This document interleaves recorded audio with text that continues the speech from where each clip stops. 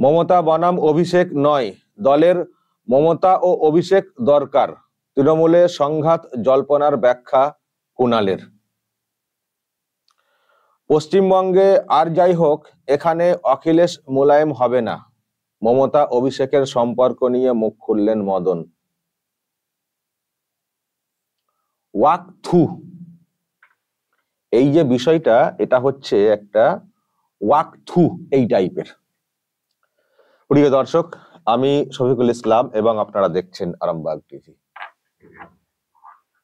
আমাদের বাংলাতে কি আর কোনো বিষয় নেই? মিডিয়াতে চর্চা হওয়ার ক্ষেত্রে, করার ক্ষেত্রে? এটা কোনো সাবজেক্ট? এটা কোনো বিষয়? আমি দেখছি। কয়েকটা মিডিয়াতে এইসব নিয়ে একেবারে বিরাট হইচই ফেলে দেওয়া হচ্ছে। প্রথমে কোনাল ঘোষের একটা বক্তব্য নিয়ে শুরু হয়। তো সেটার একটা আলাদা আঙ্গিক ছিল। কুণাল ঘোষ এমন একটা ক্যারেক্টার। তার এইভাবে বলা, তার কি উদ্দেশ্য, তার কি মোটিভ তার কি স্বার্থ, সেটা নিয়ে একটা বলার জায়গা ছিল, তাও একদিন ঠিক আছে। কিন্তু তারপরেও যেভাবে বিষয়টাকে কন্টিনিউ করা হচ্ছে, আবার দেখছি মদন মিত্রের রিয়াকশন নেওয়া হয়েছে।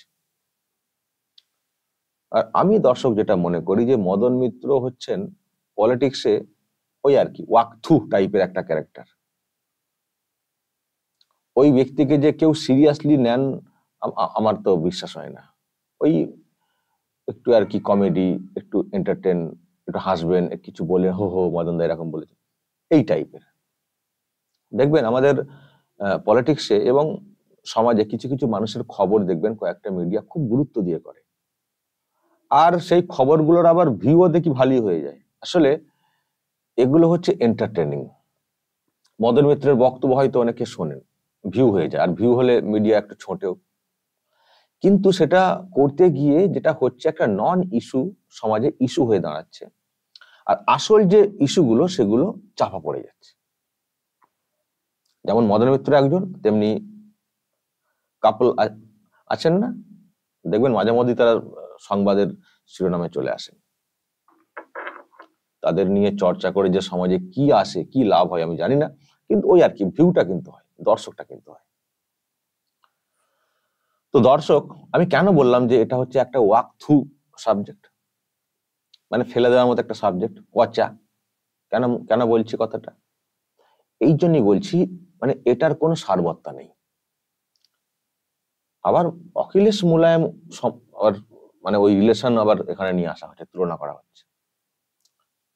দর্শক অখিলেশ মুলায়ম, লালু প্রসাদ, তেজস্বী যাদব বা ওই মহারাষ্ট্রের যিনি আর কি মুখ্যমন্ত্রী ছিলেন, উদ্ধব ঠাকরে, তার ছেলে। আমি এইসব সম্পর্কের মানে কতটা ভালো, কতটা খারাপ, কত তিক্ত হতে পারে? আর একটা কথা, এখানে যে হেডলাইনটা করা হয়েছে, মদন মিত্র নাকি বক্তব্য যে পশ্চিমবঙ্গে আর যাই হোক, এখানে অখিলেশ মুলায়ম হবে না। অখিলেশ মুলায়ম হচ্ছেন পিতা পুত্র। আর মমতা অভিষেক হচ্ছেন পিসি ভাইপো। দুটো খানিকটা হলেও তফাত তবে হ্যাঁ দর্শক, আমি কিন্তু এটা বিশ্বাস করি যে মমতা ব্যানার্জি যেভাবে অভিষেককে খেয়াল করেন, দেখাশোনা করেন, যত্ন নেন উদ্বিগ্ন থাকেন প্রোটেকশন দেন। রাতারাতি পলিটিক্সে নিয়ে এসে একটা যেভাবে ভালো একটা জায়গা করে দিয়েছেন, পরবর্তী মুখ্যমন্ত্রীর দাবিদার হিসেবেও একটা অংশ বলার শুরু করেছে, যদিও সেই সুযোগ আসবে কিনা দলকে তো ক্ষমতায় থাকতে হবে। তো সেটাতে অবশ্যই এটা পিসি ভাইপো না সত্যিই ছেলের মতো করেই অভিষেককে মমতা ব্যানার্জি ভালোবাসেন। এটা আমরা মোটামুটি বিশ্বাস করি, হয়তো এটাও হতে পারে, মদনও হয়তো সেটাই বিশ্বাস করেন সেই জন্য অখিলেশ মুলায়মের এই, অখিলেশ মুলায়ম এই দুটো নাম এসছে, তারা পিতা পুত্র আর ইনার হচ্ছে পিসি ভাইব কিন্তু বলেছেন যে পশ্চিমবঙ্গে, আর যাই হোক, অখিলেশ মুলায়মের হবে না মানে অখিলেশ মুলায়মের মধ্যে একটা সম্পর্কে একটা চির ধরনের একটা প্রশ্ন তৈরি হয়েছিল, তো সেটা আর কি বলার হয়তো চেষ্টা হয়েছে। তো আমি যেটুকু বলব যে অখিলেশ মুলায়মের কি জানি না কতটা কি তাদের মধ্যে সম্পর্ক দেখুন পিতা পুত্রের সম্পর্ক এমনি একটা জিনগত থাকবেই, কিন্তু মমতা ব্যানার্জি, অভিষেক ব্যানার্জির যে সম্পর্ক যা দেখি, তাতে মা ছেলের থেকেও মানে আরও আরও নর্মালি মা ছেলেরা যেমন হয়ে থাকেন, তার থেকে আরও বেশি কেয়ারি অভিষেক সম্পর্কে। এতটাই অভিষেককে ভালোবাসেন এই মমতা ব্যানার্জি। আর সেখানে এইসব হয়ে যাবে, সম্পর্কে চিড় ধরে যাবে। সম্পর্কে চিড় ধরে যাবে। ফালতু একটা সাবজেক্ট নিয়ে দিনটা শুধু হই হই হচ্ছে কেন নেতাজি ইন্ডোরে অভিষেকের ছবি নেই? কেন সেখানে মমতা ব্যানার্জির শুধু, তাহলে কেউ তাহলে কি কেউ বা কারার এইসব করেছেন? ইচ্ছা করে মানে এটাকে করা হয়েছে অভিষেকে চেপে দেওয়ার চেষ্টা হচ্ছে। মানে এমন একটা ঢোল পেটানো হচ্ছে। প্রথমে একজন কেউ বললেন, ঠিক আছে, একদিন খবর হয়ে যায়। কিন্তু সেটাকে যেভাবে কন্টিনিউ করা হচ্ছে মনে হচ্ছে একটা নন ইস্যুকে ইস্যু বানানোর চেষ্টা হচ্ছে, আর মূল ইস্যুগুলোকে চাপা দিয়ে দেওয়ার চেষ্টা হচ্ছে। অ্যাকচুয়ালি যে ইস্যুতে আলোচনা হচ্ছে, এটা হচ্ছে ওয়াকথু আচ্ছা কেন এইসব নিয়ে এত চর্চা হচ্ছে? আমি তো আর একটা খবর দেখলাম। এমনি খবর একটা হয়েছিল। চোখের সমস্যা নিয়ে হাসপাতালে অভিষেক কোথায়? ভরা সবাই পিসি মমতার গলায় উদ্বেগ। চোখের সমস্যা নিয়ে হাসপাতালে অভিষেক, ভরা সবাই পিসি মমতার গলায় উদ্বেগ।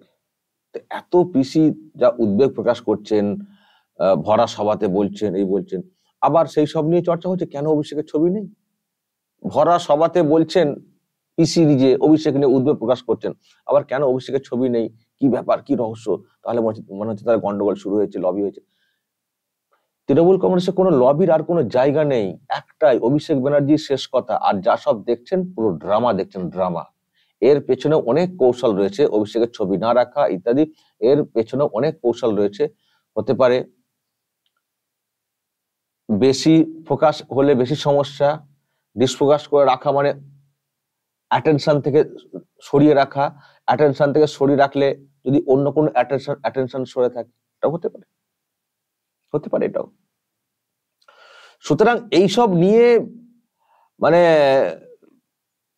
এমন একটা চর্চা হচ্ছে যেন বিরাট কিছু, কিন্তু এগুলো কখনোই অভিষেক ব্যানার্জি, মমতা ব্যানার্জির মধ্যে বিরাট দ্বন্দ্ব হয়ে যাবে, একবার হয়ে হয়ে যাবে, নেই। আর আমি এটাও বলে দিই, মমতা ব্যানার্জির এখন সেই ক্ষমতাও নেই। অভিষেক ব্যানার্জি দলের কন্ট্রোলে নিয়েছেন কন্ট্রোল রাখবেন, আর মমতা ব্যানার্জি যে চেষ্টাটা করে যাচ্ছেন, করে যাবেন শেষ পর্যন্ত, প্রত্যেকটা মুহূর্তে দেখবেন তার ক্ষেত্রে একটা মানে এই অভিষেক নিয়ে একটা সবসময় সফট কর্নার থাকে। উনি যেটা চেষ্টা করবেন, যাতে করে অভিষেক ব্যানার্জি জেল টানা হয়।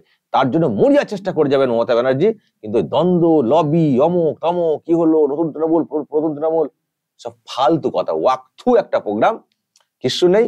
আর ওইসব কৃষ্ণ কৃষ্ণ করে মদন কিসব বলছে, সব ফালতু। দল এখন কন্ট্রোলে অভিষেকের। মমতা ব্যানার্জি জাস্ট অভিষেক ব্যানার্জির জেল যাত্রাটা আটকানোর জন্য মরিয়া প্রয়াস চালাচ্ছেন। সেটা করতে গিয়ে কখনো আড়ালে রাখবেন, কখনো প্রকাশে আনবেন, কখনো তার চিকিৎসার ব্যাপার নিয়ে কথা বলবেন। সবটাই হচ্ছে অভিষেককে, অভিষেকের বিরুদ্ধে যেসব অভিযোগ এসছে, সেগুলোকে আড়াল করার মানে একটা চেষ্টা, মরিয়া চেষ্টা। এর বাইরে আর কিছুই নাই। তাহলে এই যে এত চর্চা হচ্ছে, এত কিছু হচ্ছে, একেবারে ওয়াকথু একটা সাবজেক্ট কিছুই নেই। মমতা ব্যানার্জির এই অভিষেকের হাতে দল আমি বারবার বলছি, দল এই মুহূর্তে অভিষেকের হাতে, মমতা ব্যানার্জির নিজস্ব কিছু করারও নেই, আর তিনি করতে কোনো চাইবেও না, চাইবেনও না।